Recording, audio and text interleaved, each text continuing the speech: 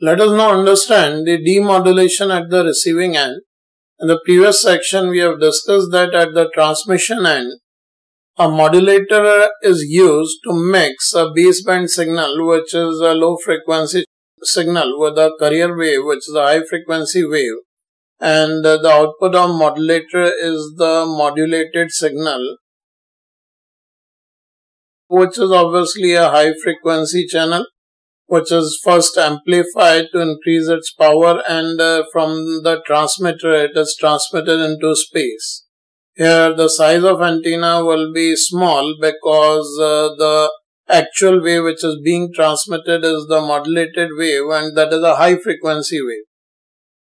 Now at high frequency again the receiver side antenna is also of uh, limited or small size length which receives the signal and uh, first the signal is amplified within the receiver. And uh, here uh, this is the modulated signal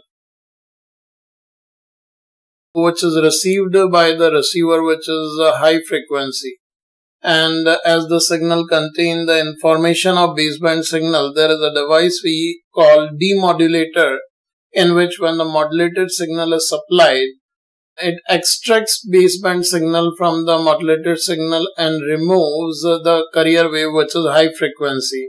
So this is the way how the baseband signal is extracted from the received modulated signal and is further amplified and supplied to the transducer to be converted into the understandable format. So here we can write uh, the demodulation is a phenomena which is reverse of uh, the modulation. And uh, here we can write the process of recovering baseband signal from high frequency modulated signal is called